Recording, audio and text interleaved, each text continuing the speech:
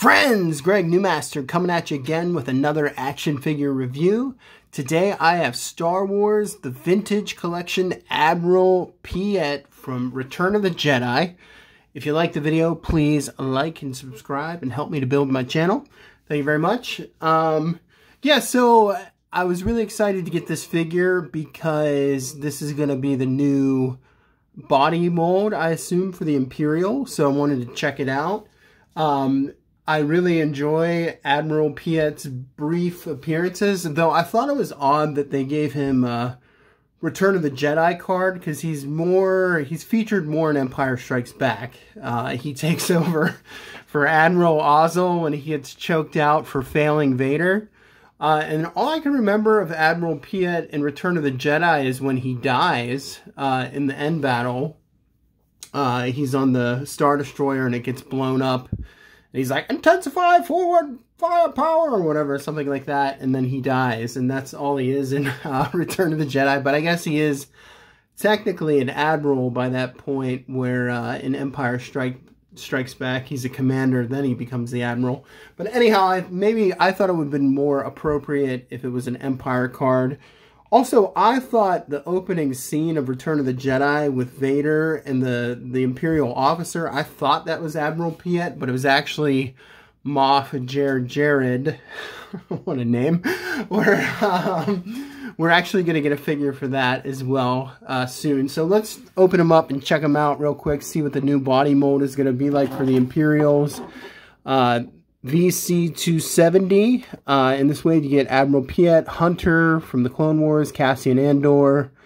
Um, in a disguise, we get the new Clone Trooper Phase 2 mold. We get another Cassian Andor, Vel Sartha, Cal Kestis, and Star Killer, which I think is just kind of a waste because they didn't even give him um, new articulation. So anyhow, Let's open them up. I cut the pill with an X-Acto knife. Um, there's the card. Nice image uh, from Return of the Jedi.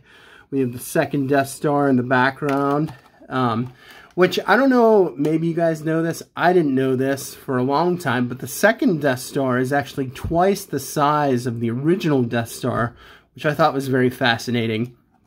So there it is in the background. Let's pull him out and see what he is like. And I'm all, oh, I'm excited already because we have torso articulation. So he is on a ball joint. Uh, let's get a good look at that face. Uh, really nice. They even captured the bags under his eyes because he has uh, he has this like nice scowling presence and um, very tired look. He has bags under his eyes. So I'm really happy that the figure captured that. That's what he looks like from the side, from the back. And his hat is removable. So that's awesome. I love that. He has a nice little side part. And we can throw his hat on there. I think the only thing they're missing here is he has a bit of a furrowed brow. See the furrowed brow uh, in the center there? Um, the figure doesn't have that. He has more of a wide-eyed sort of corpse look. But uh, Admiral Piett. So loving the articulation. We got the ball joint. Uh, let's see if it's the double barbell. I assume it is. Uh, ah, having trouble pulling this off. Yeah, so we get the nice double barbell, which gives really great neck motion and head articulation. Gonna throw his hat back on. Let's put it backwards. He's a gangster. Yo, what's up? Admiral Piett. Now I'm going to put it on proper. He is a uh, soldier of the Empire. We have to respect the Empire, right? Um, shoulders go up like so. Really nice sculpt. Very pleased with this already. Um, this is going to be great. I just, uh, torso articulation. Nice. Look at that nice shiny belt buckle. The paint. Uh, the tunic is soft. And we got the T-joints, my friends. So we got nice articulation. Beautiful, beautiful. This is very exciting. Uh, horizontal wrist joint on this side. I don't know why they would do that. But we got the vertical uh, wrist joint on the other side for uh, some weapons holding action.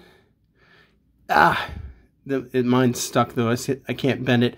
It's very soft. It's a very soft plastic compared to other Imperials that I've felt. Um, we can kick the leg up that high. We got ankle articulation. We got ankle pivot. Yeah, love that pivot. Uh, we got nine, uh, about 90 degrees in the knee. You can force it if you want. That's what he looks like from the back. Really awesome figure. I'm very excited about this. Uh, what else do we have?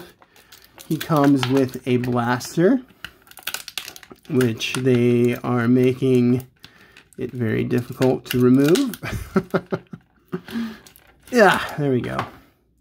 So just your standard blaster. The thing I don't like about, um, you know, they, they should give like a holster on the back.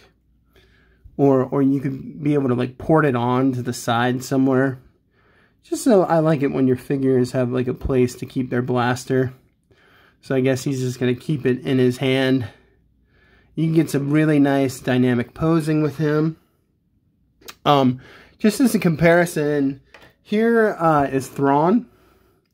So Thrawn's tunic is solid. I can't even move his legs.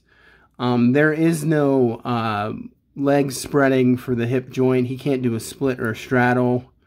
Um, he, this is a very solid figure for Thrawn. Uh, we have rotation in the waist, but no uh, ball joint. And then this is the old school, um, just single ball joint on the head for this old Thrawn figure that I have. I love this figure, by the way. He looks so awesome and menacing.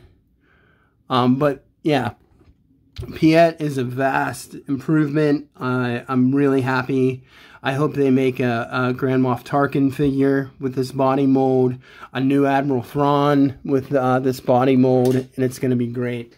So awesome figure, highly recommend it. I'm gonna get Moff Jeff Jarrett when he comes out. If you like the video, please like and subscribe, and God bless you all. Peace.